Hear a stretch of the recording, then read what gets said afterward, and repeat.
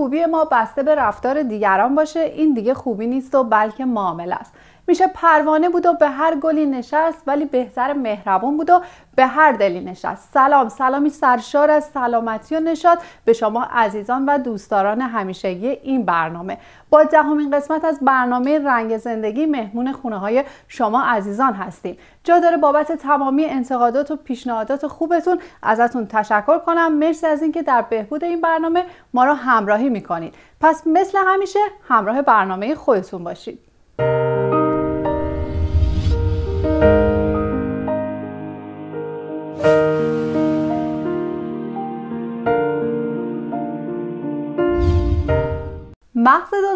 دیرتر پیر میشه. افرادی که به دو یا چند زبان صحبت می‌کنن روند پیری مغز در اونها کنتره و همچنین قدرت تفکر استدلال و حافظه در زمان پیری در اونها حفظ میشه.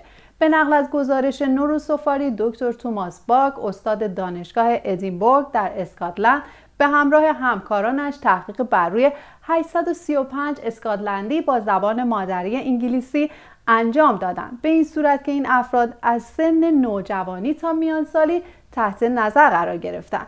در سن 11 سالگی تست مهارت ذهنی انجام دادن و همین تست مجددا در سن 70 سالگی تکرار شد. در میان افراد شرکت کننده 262 نفر اونها حداقل به دو زبان صحبت می‌کردن و 195 نفر اونها قبل از سن 18 سالگی به یادگیری زبان دوم روی آورده بودند. نتیجه این تحقیق به این صورت بود که افراد شرکت کننده در تست مهارت ذهنی به خصوص در بخش هوش عمومی و خوندن حتی بهتر از دوران نوجوانیشون بودند. این محقق خاطر نشان کرده که این یافته ها قابل توجه هستند و میلیون ها نفر در طول عمرشون به یادگیری زبان دوم روی میارن که حتی اگر این یادگیری در سن بزرگسالی باشه به عملکرد مغز کمک می‌کنه. یه سری به اتاق فرمان می‌زنیم و برمیگردیم.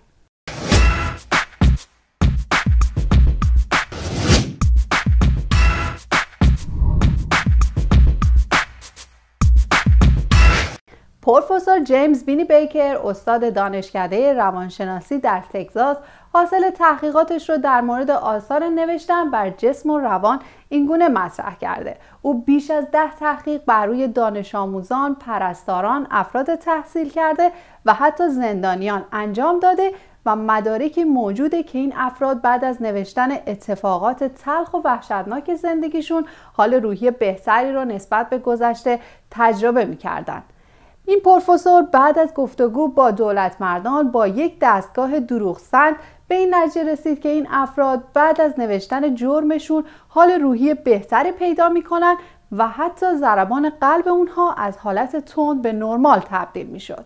همچنین این محقق تحقیقاتی رو بر روی دانش آموزان محل تحصیل خودش انجام داد و به این نتیجه رسید که این افراد بعد از نوشتن اتفاقات استرسزای زندگی شد سطح ایمنی بدنشون بالا می‌رفت. به خاطر اینکه سلول های تیل مفوزی در اونها تغذیه و شروع به فعالیت می‌کرد. تحقیقات بیشماری در حال انجامه به خاطر اینکه محققان بر این باورن با نوشتن درمانی می‌تونن طول عمر بیمارانی همچون بیماران سرطانی و بیماران قلبی رو بالا ببرن. یه بخش کوتاهی رو با همدیگه می‌بینیم و برمیگردیم.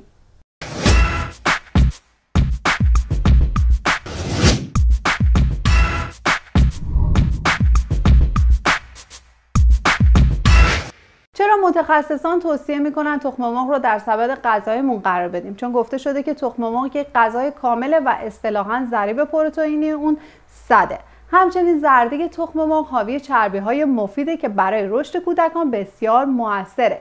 سفید یا قهوه‌ای بودن پوست تخم مرغ بستگی به نژاد مرغ داره و هیچ تأثیری بر ارزش غذایی تخم مرغ نداره. بعضی ها بر این باورن تخم مرغ های دو زرده مقوی ترن ولی گفته شده وقتی مرغ در شرایط استرزا قرار بگیره این اتفاق میافته. افرادی که فشار خون بالا دارن باید از خوردن زردی تخم مرغ پرهیز کنند و افرادی که دچار مشکل کلیوی هستن از خوردن سفیده تخم مرغ باید اجتناب کنند. تخم های تازه زردشون گنبدی شکله ولی هر چقدر از طول عمر اون بگذره زرده اون تختر میشه.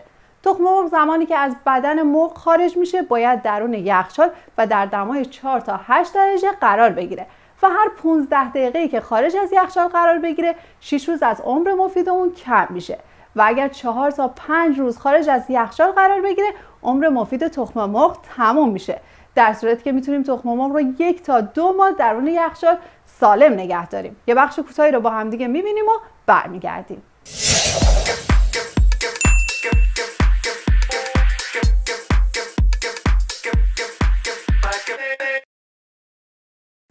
شکسته رو چگونه درمان کنیم؟ روانشناسان دانشگاه کلمبیا بر این باورند درد و دل کردن با دوستان بدترین حالت نوع درمان قلب شکسته است.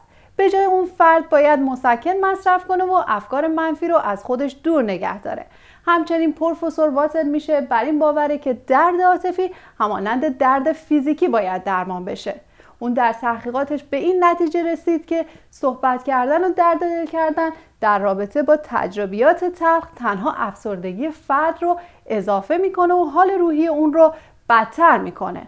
اون به این نتیجه رسید که زمانی که شما به تصویر فردی نگاه می‌کنید که قلب شما رو شکسته دقیقا همون منطقه از مغز فعال میشه که زمان سوختن دست فعال میشه. این پروفسور گفته که در جواب درد و دل کردن دوستتون به اون بگید که تلفن رو قطع کنه دو تا آسپرین بخوره و روز بعد به شما زنگ بزنه. شاید به نظر برسه که شما سنگ دلید ولی این راه بهترین نوع درمان قلب شکسته است و پایه علمی داره. پس در آخر بهتون باید بگم که استفاده از داروهای بدون نسخه مثل ایبوبروفن و آسپرین بهترین راه درمان قلب شکسته است. و باید از یادآوری تجربیات تلخ پرهیز بشه چون تنها حال فرد رو بدتر می‌کنه. یه بخش کوتاهی رو با همدیگه می‌بینیم و برمیگردیم.